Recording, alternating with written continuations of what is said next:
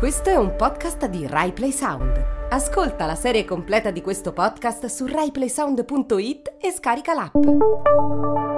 Io ho scritto la mia lettera perché il pubblico possa capire più direttamente i problemi e le angosce e le conseguenze alle quali vanno incontro le, le persone che sono ricoverate negli ospedali psichiatrici.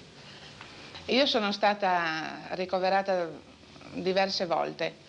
Sono stata ricoverata la prima volta nel 61 a Gorizia, ero molto depressa e, e, avevo anche delle fissazioni, delle, delle specie di allucinazioni. La prima, la prima, applicazione di elettroshock non me la ricordo neanche perché mi sono svegliata nella cella chiusa e la prima cosa che mi sono domandata mi sono, è stato come mi chiamo? Mi sono messa una mano sul petto e ho detto ma io chi sono io? E non mi ricordavo assolutamente più di niente. Una paziente psichiatrica intervistata dalla RAI nel 1967 parla del suo primo ricovero in manicomio, nel 1961. Il manicomio è quello di Gorizia ed è lo stesso in cui arriva Franco Basaglia con sua moglie Franca Ongaro e i due figli, proprio nello stesso anno. Il ricordo dell'ingresso in manicomio tormenterà Basaglia per anni. Lo ricorda anche Franca Ongaro Basaglia, in una intervista che le fa Fabio Isman nel 1988, quando a dieci anni dalla legge 180 la riforma è già sotto attacco e qualcuno rimpiange i manicomi. Insieme e accanto a Franco Basaglia lei ha vissuto tutta la stagione della riforma psichiatrica. La prima volta che è entrata nel manicomio di Gorizia, a quell'epoca chiuso e terribile, che cosa si ricorda? Io mi ricordo che era una ragazza che si chiamava Margherita ed era chiusa in un letto a gabbia e che urlava da sola in un camerone. Io sono Vanessa Roghi e questo è Archivi della Follia, un viaggio nelle teche RAI alla ricerca della storia di Franco Basaglia, della chiusura dei manicomi in Italia, di quello che è accaduto dopo e sta ancora accadendo. Prendi un giovane medico che ha partecipato alla resistenza, colto, di estrazione borghese, ma con idee progressiste. Prendilo e mandalo in un manicomio. Gli esiti possibili sono due, ieri come oggi diventare parte dell'ingranaggio dell'istituzione o rifiutarla, senza compromessi. La strada che intraprende Basaglia è la seconda.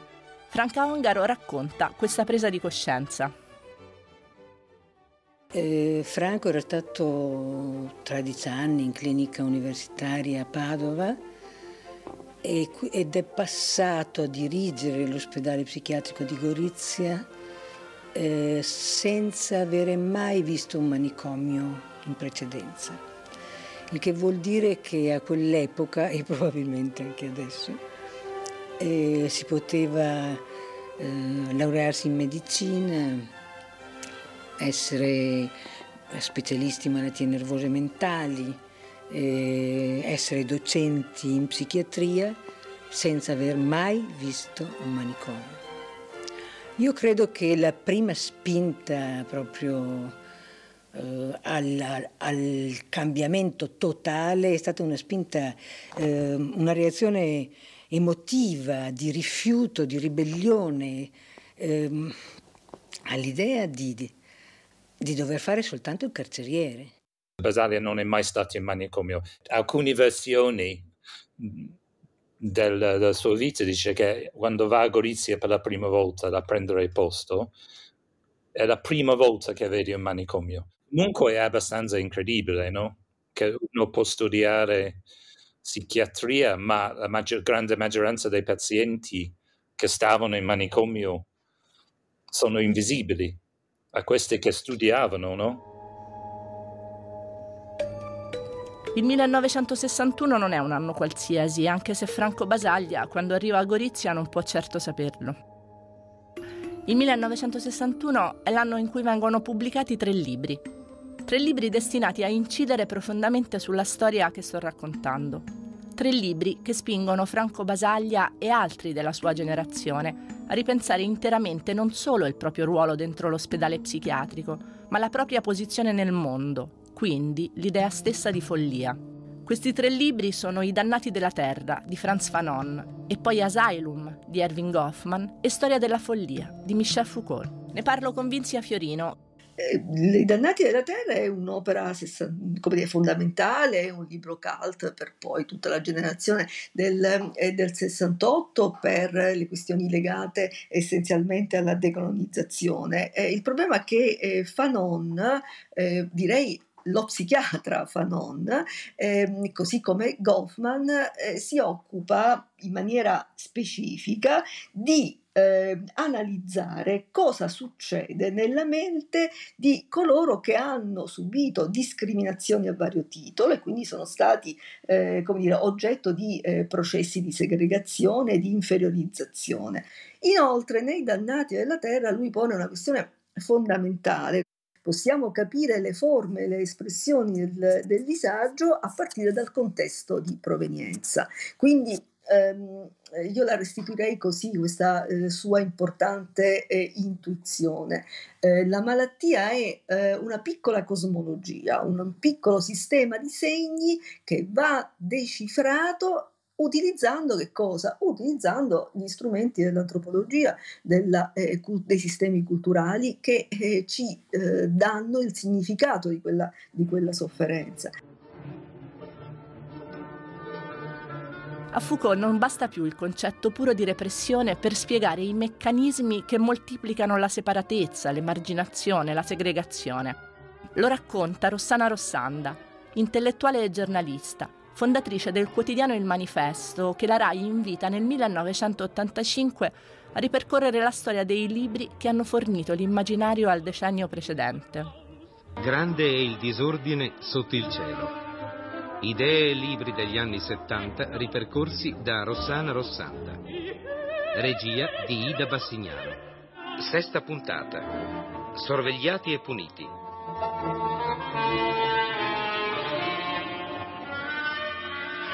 Il pensatore assonante a questo clima degli anni 70 sarà perciò Michel Foucault, l'analista dei poteri, poteri come Stato, come istituzioni, come discorso, cioè interiorizzazione e cultura, parole che diventano cose, fatti, lacci, legami.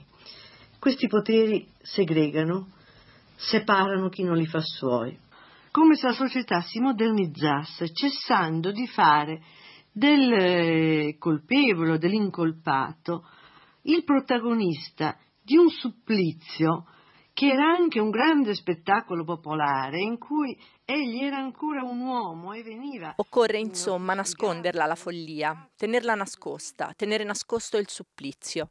Vinzia Fiorino riprende Rossana Rossanda e approfondisce questo concetto.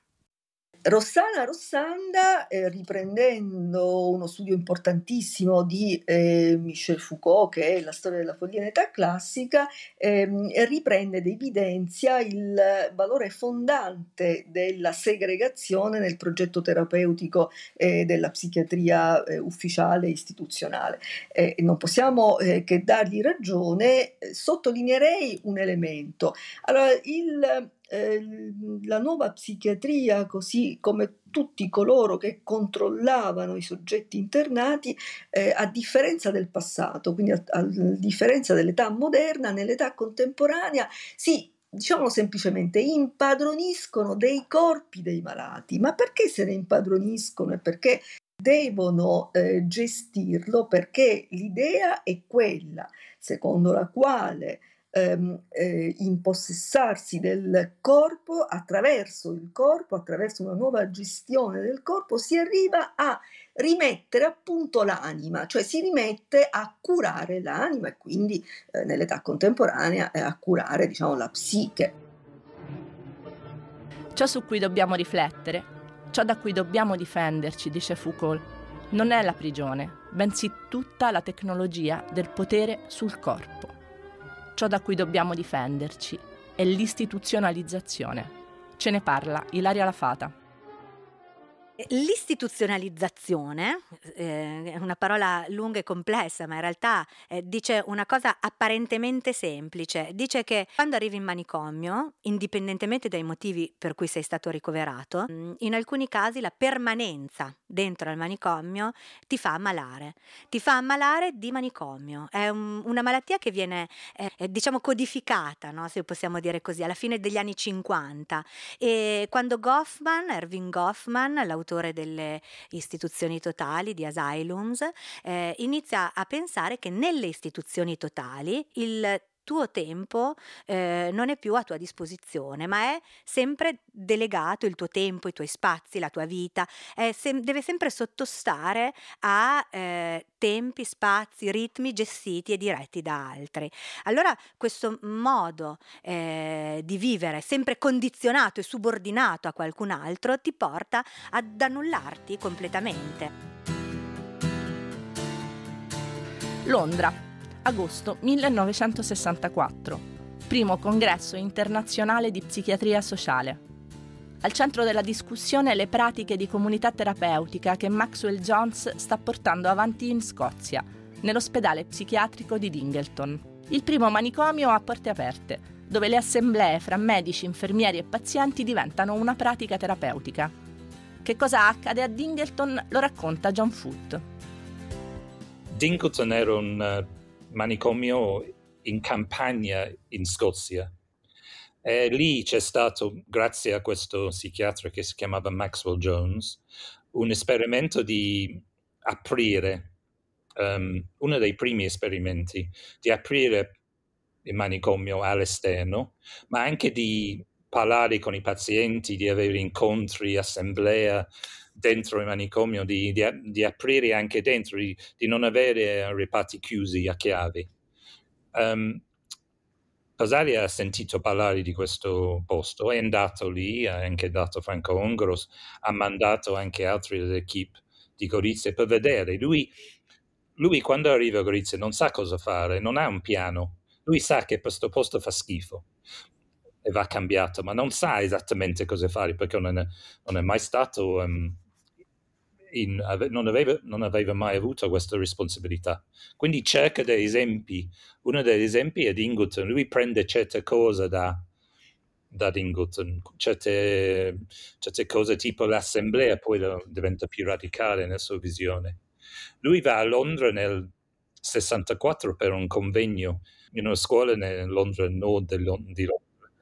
Eh, c'è un convegno sulla psichiatria sociale e lui, lui fa un paper nel suo pessimo inglese dove dice, è un paper famoso, è un famosissimo in, intervento, che legge questo um, intervento in inglese e si dice che molti non hanno capito niente di quello che diceva perché suo inglese, mi ha detto anche suo figlio, era, era pessimo. Um, lui d- fa questo paper che è molto radicale, anche per i psichiatri sociali di allora, perché lui dice non possiamo riformare questo posto, non possiamo cambiare, possiamo pro- fare quello come un primo approccio, però in fondo questo posto è un posto di violenza, è un posto di esclusione e va distrutto, va abolito. A quel momento in, uh, nella psichiatria non c'è nessuno, non c'è quasi nessuno che dice questo. Gli inglesi non dicono questo, i francesi non dicono questo, loro dicono che si può tenere l'istituzione e cambiarlo dentro, cambiarlo, farlo diventare un buon manicomio. Lui no, dice alla fine bisogna distruggerlo. Intanto lavoriamo verso quel fine. Il manicomio non va migliorato, il manicomio va chiuso. La violenza istituzionale va abolita. Ne parlo con Tommaso Lo Savio, che entra in manicomio come giovane medico nel 1969. Ah, la violenza istituzionale è ehm, la privazione di qualsiasi diritto, eh, in cui l'istituzione si fa istituzione totale, ha le sue regole e, e chi non si, fa, eh, non si confà alle regole istituzionali viene eh, punito, viene punito anche severamente. Quindi non solo c'è la privazione di qualsiasi diritto personale, ma è più elementare, quello di non avere nessun ehm, effetto personale, per esempio, eh, di non avere nessuna voce in capitolo. Eh, I pazienti psichiatrici erano privati, internati definitivamente, erano privati dei diritti civili, non potevano votare, non potevano avere passaporto, venivano privati della patria potestà. Non solo la, la privazione di questi diritti, ma anche la violenza eh, esercitata sul corpo di queste persone. C'erano persone legate a letto eh, da anni. Io ho trovato persone legate a letto con piaghe da decubito cui si vedeva l'osso sacro. Adesso voglio uscire dall'ospedale psichiatrico e vedere cosa sta accadendo in Italia nei primi anni 60. Perché non mi fido delle storie che isolano gli eroi, che li raccontano come cavalieri solitari. Ogni biografia è una biografia collettiva e nessuno da solo può fare la rivoluzione. Allora voglio allargare lo sguardo e abbracciare il tempo in cui Franco Basaglia si trova ad operare. E voglio farlo a partire da un'espressione, disgelo costituzionale. Gli storici la usano per riferirsi a quanto accade in Italia in questi anni. A poco a poco la Costituzione, congelata negli anni 50, inizia a irrorare di sé la vita di tutti, anche di chi è da sempre ai margini della vita civile, anche quella democratica. Il paese ha conosciuto una grande trasformazione dovuta al boom economico e all'emigrazione interna, che ha posto migliaia di italiani di fronte all'ingiustizia di una società ricca fondata sul lavoro dei poveri, trattati come bestie nei quartieri dormitorio delle grandi città del nord. Il movimento sindacale inizia a prendere forza e Aldo Moro, figura di spicco della democrazia cristiana, decide che è tempo di inglobare anche il Partito Socialista al governo.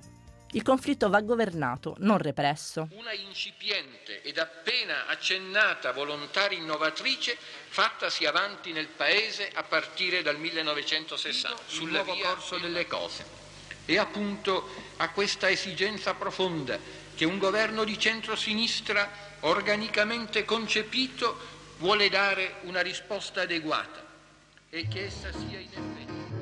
I governi di centrosinistra, così si chiamerà la formula ideata da Moro, sono tre, fra il 1963 e il 1968. Nel 1964 al Ministero della Sanità viene chiamato il socialista Luigi Mariotti e tutto inizia a cambiare. Dentro le mura degli ospedali psichiatrici italiani sono rinchiusi 150.000 malati. In Italia la legge sui manicomi è vecchia di oltre 60 anni. Già nel 1911 fu definita iniqua ed antiquata. Questa legge, ancora oggi in vigore, considera gli ammalati di mente quasi come se fossero dei carcerati, pericolosi e soprattutto inguaribili. In molti casi ci si difende da questi ammalati come da nemici, invece di combattere una malattia dalla quale si può guarire. Tuttavia, la legge antiquata non è l'unico grave problema. Mancano i medici, gli infermieri specializzati, mancano 40.000 posti letto, le cure sono spesso inadeguate. Mariotti fa redigere un libro bianco sulla sanità, dal quale emerge come su 90 province italiane 29 siano sprovviste di ospedali psichiatrici. In Valle d'Aosta e Basilicata non ce n'è nemmeno uno. Ne deriva una vera e propria emigrazione sanitaria su base coatta, perché i ricoverati sono spediti fuori dalle province o dalle regioni contro la loro volontà. Lo racconta nel 1965 lo psichiatra Giuseppe Aschieri, che dirige l'ospedale di Varese, in una intervista dove mette in luce cosa si nasconda spesso dietro la difesa del manicomio. Professore, se ho capito bene, quindi, tra una provincia e l'altra avviene spesso una sorta di triste emigrazione di ammalati mentali. Sì, migrazione che qualcuno ha chiamato appalto dei malati mentali. Appalto dei malati mentali in che senso? Nel senso che oltre alle difficoltà e ai disagi di un ricovero effettuato a distanza talvolta di 300-400 km, oltre all'impossibilità da parte dei parenti di visitare i loro cari ogni qualvolta lo desiderano, rimane il fatto che eh, le province che esportano i malati versano una certa somma per ogni ammalato. Una retta. Giornaliera. Ora può sorgere il sospetto che la provincia ospitante o delegata non spenda tutta o quasi tutta questa somma a sua disposizione, ma possa lesinare su questa somma eh, e trarne un utile eh, riducendo le spese necessarie per l'assistenza e la cura dei malati mentali. Cioè chi ospita si trasformerebbe in una specie di, di, di albergatore. Precisamente. Ecco, quindi avrebbe interesse a tenere più possibili clienti paganti. Precisamente, ma col grave inconveniente che facendo così si ha la cronicizzazione dei malati. Le accuse alla gestione dei manicomi non si contano. Sui giornali, alla radio, in televisione. Dentro le mura degli ospedali psichiatrici italiani sono rinchiusi 150.000 malati, ma mancano i medici, gli infermieri specializzati, mancano 40.000 posti letto. E le cure sono spesso inadeguate. La legge che li regola, del resto, ricordiamolo, risale al 1904. Ilaria Lafata mi spiega come il tempo in manicomio si sia di fatto fermato. Beh, dal 1904, in realtà potremmo dire dal 1873, la vita in manicomio non cambia. Cambiano i direttori che restano per più o meno tempo, ma eh, e quindi magari sono a volte più illuminati, a volte meno illuminati. La struttura rimane la stessa, la struttura profonda del manicomio rimane la stessa, nel senso che la gestione dei ricoverati e delle ricoverate è sempre uguale. Sì, cosa può cambiare? Forse che c'è meno camicia di forza e ci sono più psicofarmaci dopo gli anni 50, ma il concetto di legare, di contenere le persone è sempre lo stesso. Eh, il momento di svolta sono proprio gli anni 60, eh, quando si fa largo anche una nuova società e ci sono nuove istanze esterne eh, che cominciano letteralmente a bussare alla porta del manicomio. Ma fino agli anni 60 la struttura manicomiale, l'impianto eh, del manicomio rimane sempre lo stesso. Da questo punto di vista i tempi eh, della storia, quella con la S maiuscola, incidono molto poco, possono aumentare eh, o diminuire casomai i ricoverati, però il manicomio resta proprio una cittadella chiusa, chiusa e quasi impermeabile ai cambiamenti, ai cambiamenti esterni e, mm, e lo rimane fino appunto a quando è un po' la società che inizia ad accorgersi, no? la società civile, alcuni studiosi, eh, alcuni studenti eh, che iniziano ad accorgersi che c'è una presenza ingombrante in provincia e che forse bisogna cominciare a guardarci dentro. Ma chi può entrare in manicomio? Chi vi lavora? Infermieri, cuoche, personale vario, medici, ovviamente, e ammalati. E poi i responsabili delle amministrazioni provinciali, che fino ad ora però non hanno brillato di spirito di iniziativa. I manicomi sono anche realtà economiche importanti e cambiare il loro funzionamento non è affatto facile. Nel solo manicomio di Colorno, distante pochi chilometri da Parma, lavorano infatti più di 3.000 persone. Ma con le elezioni amministrative del 1965 arriva in provincia uno strano assessore. Si chiama Mario Tommasini, è un ex partigiano, fa il letturista dell'azienda del gas e riceve la delega per i trasporti e l'ospedale psichiatrico. La sua è una figura luminosa in questa storia buia. Me la raccontano lo storico Valerio Cervetti e Mariella Saccani, presidente della Fondazione Tommasini di Parma. Sono andata a trovarli nella sede della fondazione, una bella villa in campagna lungo la ferrovia. Eh, buongiorno Marcella. Buongiorno. Sono Valerio Cervetti, attualmente pensionato e sono stato direttore delle biblioteche e degli archivi del comune di Parma. Mario Tommasini viene eletto nel 64 come consigliere provinciale e poi all'inizio del 65, quando si forma la nuova giunta, viene chiamato a eh, guidare il settore trasporti e l'ospedale psichiatrico, il che può suonare abbastanza stravagante, ma questo a volte nelle deleghe della provincia poteva accadere perché la provincia eh, raccoglieva, era un po' più raccogliticcia, per esempio rispetto all'attività specifica di, un, di un'amministrazione comunale, quindi era un po' più ampia. Comunque, eh, è vero quello che eh, corrisponde a, alla verità, diciamo che Tommasini con la sua 500 si prende su da Parma, va al manicomio di Colorno e trova questa realtà sconvolgente. Lui la, proprio ne parla, diceva, era un carnaio, ecco, questa è la parola con cui lui definisce il lager che trova in quella realtà. Arriva a Colorno e il giorno che rientra alla sera in lacrime e con la febbre pensa di, di mettersi da questo incarico. Poi scatta in lui un'altra riflessione, che vuol dire no, questa gente non la posso abbandonare, non posso abbandonare queste donne che non sembrano donne, donne che hanno fogli di giornali eh, per eh, quando sono mestruate, eh, bambini coricati per terra che cercano di mangiare quelli che sono gli avanzi del cibo degli altri. Bambini con diagnosi a sei anni o addirittura anche meno di pericolosità per sé e per gli altri. Mario comincia eh, un'opera di grande trasformazione partendo anche dalle cose più, più semplici, più, più dirette. E poi è un uomo che pensa oltre, perché quando sente che c'è qualche obiezione alle sue considerazioni, cosa ha inventato? Sente il cibo che viene distribuito a questa gente e dice che era una cosa um, da pelle d'oca. Allora invita tutti i notabili della città, gli amministratori eh, della provincia a un pranzo. Si presentano tutti e gli fa servire quello che viene dato tutti i giorni ai malati. Ovviamente il ribrezzo, lo schifo e il fatto che tutti lasciano lì, dice ecco questo è quello che viene dato tutti i giorni ai malati. Allora sono queste piccole cose da cui lui parte, il vestiario, eh, il mangiare, il cibo, le relazioni, la socialità.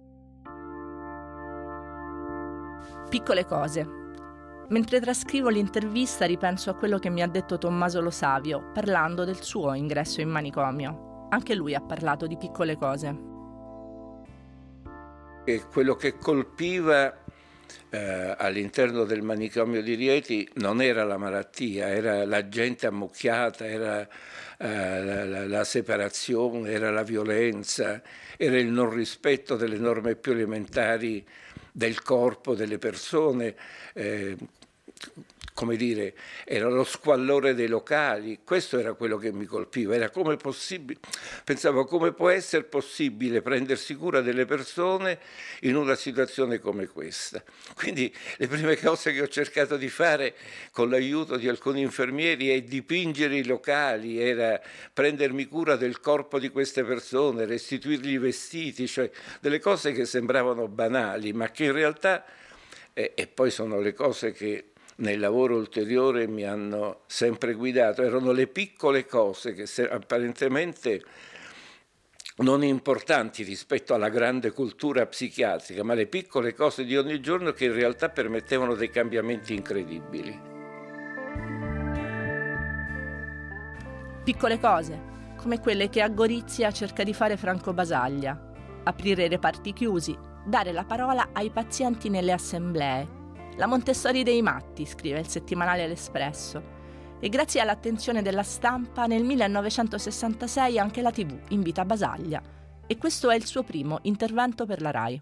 Lei crede nella malattia mentale, nell'esistenza della malattia mentale? Ma io direi sono un medico, curo di malati e non so perché non dovrebbe esistere la malattia mentale. E io penso che eh, la malattia mentale ha la sua dignità di esistenza come tutte le altre malattie. Il fatto è che i malati mentali non hanno dignità di esistenza. Senta, eh, cioè, vede, il, il, problema è questo che eh, la malattia mentale, come tutte le altre malattie, direi che hanno una, un aspetto duplice. Non è importante quello che è la malattia, qualunque malattia, ma quello che ne viene fatto della malattia capisce? Le basta che vedere gli ospedali psichiatrici. Se i malati in questi ospedali sono malati, sono ridotti a prigionieri così, eh, e scontano una condanna che non sanno. Senta professore, a proposito di ospedali psichiatrici, spesso dentro l'ospedale il malato non guarisce e fuori spesso diventa pericoloso. Che cosa fare? Ecco, vedi, io mi eh, riaggancio a quello che dicevo prima. Eh, nell'ospedale psichiatrico eh, non si cura la malattia, ma si, si, cura quello che è stato prodotto dalla malattia, cioè la malattia da ospedale, quello che noi chiamiamo l'istituzionalizzazione. Il malato quando entra in ospedale è un uomo, qualche tempo dopo diventa una cosa, una cosa così mortificata e violentata dall'ospedale, dall'istituzione, dalle regole dell'istituzione. E, qui, e, quindi si distrugge il malato e quindi si cristallizza il malato nel, nella sua stessa ideologia falsa di malattia, capisci? Quindi eh, noi, eh, noi nell'ospedale psichiatrico curiamo un malato che non c'è più, non perché non abbia la malattia. Non so se è chiaro quello che voglio dire. Professore, che importanza hanno gli psicofarmaci nella terapia delle malattie mentali? Ma io penso che i psicofarmaci sono un ausilio piuttosto importante nella cura delle malattie mentali, ma vede, eh, come tutte le cose, anche i psicofarmaci hanno due facce. Una faccia, eh, diciamo così, terapeutica, quando questi farmaci si possono usare nella maniera giusta, nella maniera, diciamo così, terapeutica, e eh, una faccia violenta. Lei si avrà visto gli ospedali psichiatrici, avrà visto delle persone così un po' immobilizzate, istupidite, caricate di psicofarmaci. In questo modo eh, eh, noi eh, usiamo i psicofarmaci come mezzo di violenza, di mortificazione ancora una volta. Cioè costringiamo il malato non con, con, la, con la, camicia di forza, ma costringiamo il malato con una, così, con una camicia di forza chimica. Ecco, allora direi che qui ci sono le due facce dei psicofarmaci come le due facce di ogni terapia. Professore, lei dice spesso, ripete spesso questa frase, che un paziente prima di guarire deve imparare ad essere uomo. Che cosa significa? Ma eh, deve imparare ad essere uomo assieme ad altri uomini. Ma vede, prima che il malato impari ad essere uomo, bisogna che imparino ad essere uomo, sia il medico che l'infermiere che curano il malato. Allora soltanto il malato diventerà un uomo.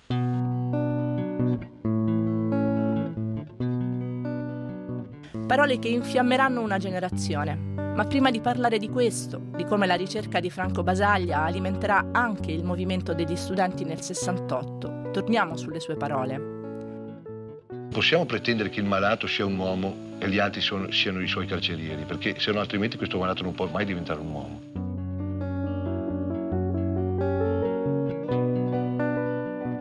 Diventare un uomo, è una donna, è un bambino. Perché il manicomio non guarda in faccia a nessuno, e c'è chi là dentro viene rinchiuso fin dalla nascita, ma di questo parlerò nel prossimo episodio. Archivi della follia, in cerca di Franco Basaglia. È un podcast Rai Play Sound, scritto e realizzato da Vanessa Roghi. Direzione artistica Andrea Borgnino. Producer Luca Franco. Mix and sound designer Alfredo Morana. Editor Alexandra Genzini e Paola Manduca. Musiche originali Frédéric Guérin.